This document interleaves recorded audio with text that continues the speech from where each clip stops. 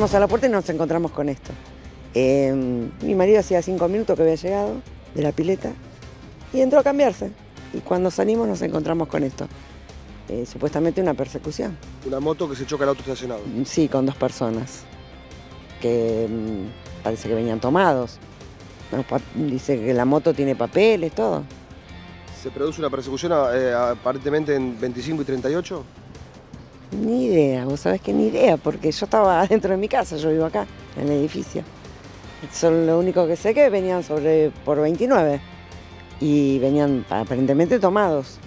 Una de las personas resultó herida, derivada de un hospital. exactamente, sí, fue la que ah, terminó el, en el auto, con la cabeza.